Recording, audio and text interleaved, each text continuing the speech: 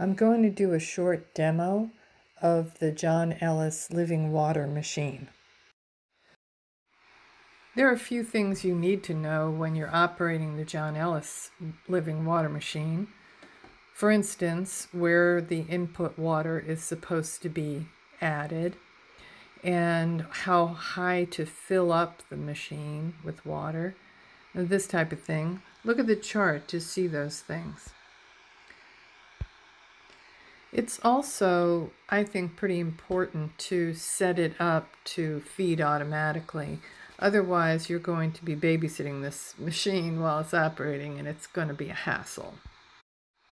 If you want filtered water like I do, you might want to hook up a quick connect and hook it to your water filter supply so that you are supplying this machine with filtered water rather than tap water.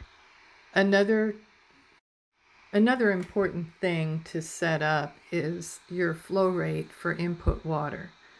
That should be at the rate of about one quarter cup every 20 seconds. You will probably also need to adjust the overflow water rate, uh, and that is adjusted using a pliers on this little nut where the overflow water comes out try to set it up so that it's a, at least equal amount of overflow water to however much distilled water you're producing. If the machine seems to be running hot, uh, let more overflow water come out than whatever you have it set on. Also, notice the little wire rack that I have the machine setting on. I did this after running the machine a couple of times and I noticed that it was running too hot to just sit right on my kitchen counter. So I have it sitting on a wire rack just to protect my counter. Now here's just what the inside filled machine looks like right before you're going to plug it in. By the way, do not plug it in until you have it looking like this. Uh, the machine can get hot very, very quickly and there's no on off switch. You just plug it in and it starts getting hot. So make sure it's filled with water and you have the flow all set up and going before you plug it in.